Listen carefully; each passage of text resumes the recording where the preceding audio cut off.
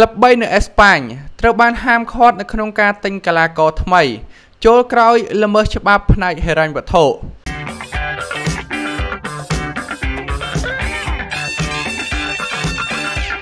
ការប្រកួតប្រជែងផ្នែកហិរញ្ញវត្ថុដោយយុត្តិធម៌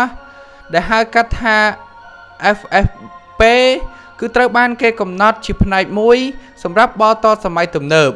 ហើយកាលពីពេលថ្មីថ្មីនេះ La Liga ក៏បានប្រកាសថា ក្លឹបចំនួន3ដែលរួមមាន Granadas, Malaga និង Las Palmas គឺមិនអាចទិញកីឡាករថ្មីចូលបានឡើយដោយសារតែពួកគេធ្វើខុសពិន័យនៅផ្នែកហិរញ្ញវត្ថុនៅក្នុងរដូវកាលឆ្នាំ2013-2014ច្បាប់គ្រប់គ្រងហិរញ្ញវត្ថុនៅអេស្ប៉ាញត្រូវបានបង្កើតឡើងដើម្បីធានាថាក្លឹបគឺអាចជៀសផុតពីស្ថានភាពអាក្រក់ហើយពួកគេគឺអាចខាតបង់ឡើយ វិធានការនេះគឺបានបង្កើតការកម្រិតការចំណាយសម្រាប់ក្លឹបមុនបើករដូវកាលនេះជាជាង ការពិន័យទៅលើការចំណាយទៅលើចប់រដូវកាលក្លឹបទាំង3នៃក្លឹបដែលបានរៀបរាប់ខាងលើគឺត្រូវបានរំលោភដោយច្បាប់ហិរញ្ញវត្ថុដែលកំពុងតែដំណើរការហើយបច្ចុប្បន្នហើយពួកគេនឹងមិនអាចនាំយកកីឡាករថ្មីមកចូលរួមបានឡើយ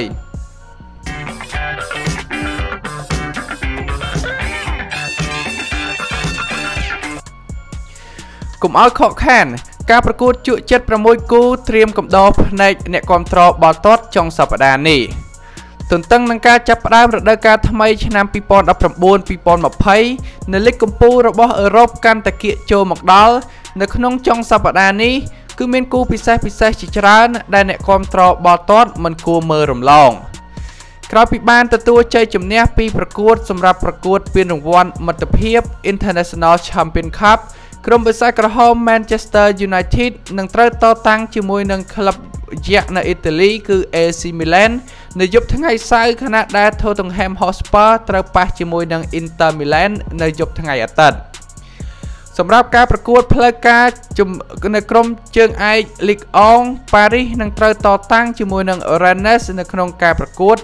French Champion Cup ស្របពេលដែលក្រុមយក្សទាំងពីរមកពីប្រទេសអាល្លឺម៉ង់គឺ Borussia Dortmund និង Bayern Munich ត្រូវប្រកួតនៅពាន German Super Cup ផងដែរដោយឡែកសម្រាប់ក្រុមនៅអង់គ្លេសវិញគឺក្រុមលេខ1 Manchester City និងក្រុមលេខ2 Liverpool នៅក្នុងតារាង Premier League នឹងត្រូវជួបប្រកួតគ្នាដណ្ដើមពាន Community Community Shield ហើយក្រុមកំភ្លើងធំ Arsenal ត្រូវបានអញ្ជើញឲ្យធ្វើដំណើរទៅប្រកួតនៅក្នុងទឹកដី Camp Nou ទល់នឹងម្ចាស់ផ្ទះ Barcelona ដើម្បីលេងពានរង្វាន់មិត្តភាពផងដែរការបរិច្ឆេទនឹងមកប្រកួតសម្រាប់គូពិសេសពិសេសនៅចុងសប្តាហ៍នេះមានដូចជា Manchester United ប្រកួតជាមួយនឹង AC Milan នៅថ្ងៃទី3ខែសីហាវេលាម៉ោង11:36នាទីយប់ ប៉ារីសប៉ះជាមួយនឹង Rennes នៅថ្ងៃទី3ខែសីហាវេលាម៉ោង6:30នាទីល្ងាច Borussia Dortmund ប៉ះ Bayern Munich នៅថ្ងៃទី4ខែសីហានៅវេលាម៉ោង1:30នាទីរំលងអាត្រៀត Liverpool ប៉ះជាមួយនឹង Manchester City នៅថ្ងៃទី4ខែសីហានៅម៉ោង9នាទីយប់ Tottenham Hotspur ប៉ះនឹង Inter Milan នៅថ្ងៃទី4សីហានៅវេលាម៉ោង9:06នាទីយប់ Barcelona ប៉ះជាមួយនឹង Arsenal នៅថ្ងៃទី5ខែសីហាវេលាម៉ោង1:00នាទីរំលងអាត្រៀតគូបញ្ជាក់ផងដែរថាការប្រកួតនឹងក៏មានការផ្សាយផ្ទាល់ពី page CTS ផងដែរ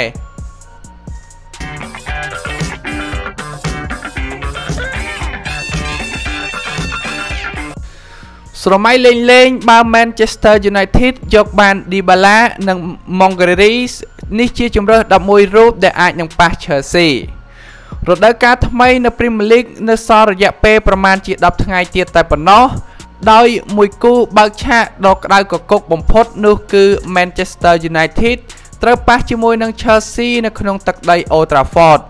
ទៅមើលរឿងរ៉ាវនៅលើទីផ្សារដោះដូរក៏មិនទាន់បានត្រូវបានបញ្ចប់រីឯចចាមអារាម គឺនៅតែបន្តអុកលុកថាបិសាចក្រហម កំពុងតែតាមអន្តងយកឌីបាឡានិងកាឡាកោម៉ាងហ្គូរីសមកបង្ក្រប់អតិពលថ្មីរបស់ខ្លួន ឌីបាឡាដែលអាចនឹងដោះដូរជាមួយនឹងលូកាគូខណៈដែលម៉ុងហ្គេរីអាចនឹងមានតម្លៃខ្លួន90លានផោនដែលបិសាចក្រហមត្រូវចាយ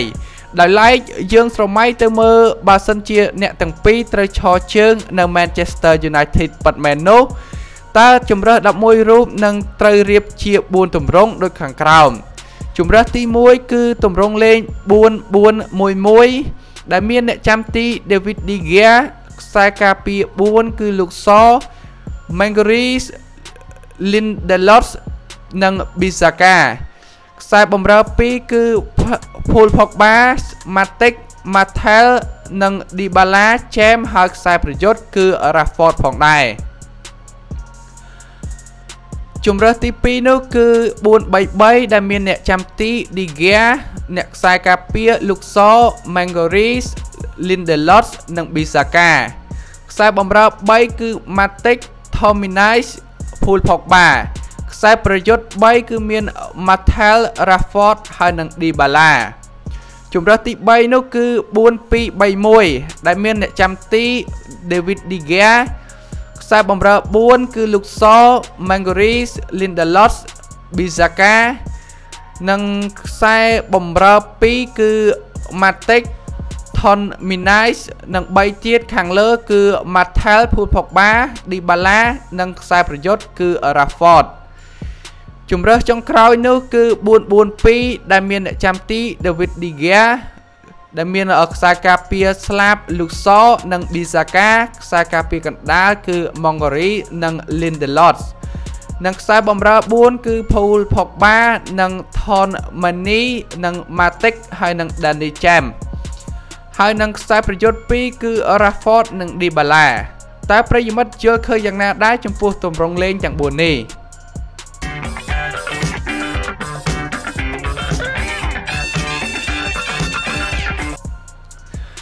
ចៅហ្វីលីបប្រាប់ពីអ្វីដែលរូបគេចង់បានដោយ Cristiano Ronaldo ចៅហ្វីលីបគឺមានបំណងចង់ដើរតាមកន្លងរបស់ Ronaldo នៅក្នុងការឈ្នះពាន Ballon d'Or ខ្សែប្រយុទ្ធវ័យ19ឆ្នាំរូបនេះបានផ្លាស់មកចូលរួមជាមួយនឹង Atletico Madrid នៅក្នុងតម្លៃខ្លួនបំបីកំណត់ត្រាគឺ126លានអឺរ៉ូពីក្លឹប Benfica កាលពីដើមខែកក្កដាកន្លងទៅ បន្ទាប់ពីរូបគេលេងរួមក្រុមជាមួយនឹង Cristiano Ronaldo សម្រាប់ជម្រើសជាតិប៉ូទុយហ្គាល់នៅក្នុងការប្រកួត Nations League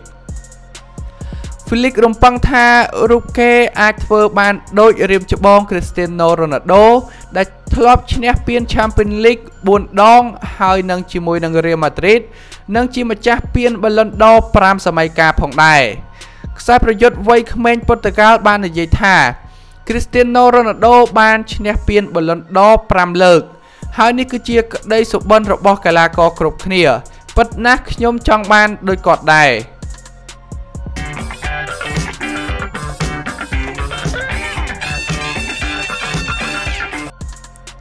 ផ្លូវការអាសនលដាច់ចិត្តចាយលុយធំនាំយកពេពេមកជួយតំបន់ប្រយុទ្ធនារដូវក្តៅនេះ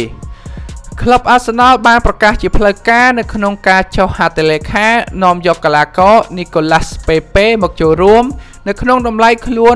87លានដុល្លារឬក៏72លានផោនកីឡាករសញ្ជាតិ Novas រូបនេះគឺជាកីឡាករចំណូលថ្មីទី4របស់កំភ្លើងធំ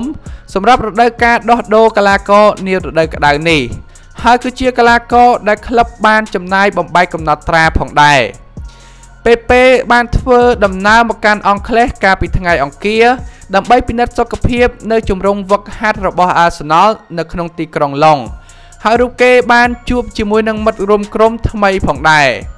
ការមកដល់របស់អតីតខ្សែប្រយុទ្ធក្រុមស្លាបនៅក្រុមលីលនេះ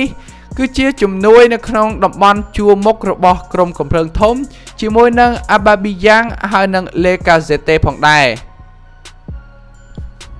បាទសម្រាប់ព័ត៌មានទាំងអស់នេះតើប្រិយមិត្តយល់ឃើញយ៉ាងណាដែរនិងអាចផ្ដល់មតិជា comment នៅខាងក្រោមបានក៏សូមជួយចុច like subscribe និងដាក់សញ្ញារូបកណ្ដឹងដើម្បីទទួលបានព័ត៌មានកីឡាថ្មីៗជាប្រចាំថ្ងៃពី Channel Server ទាំងអស់គ្នា បាទសូមអរគុណសូមគោរពលាជួបគ្នានៅវីដេអូក្រោយ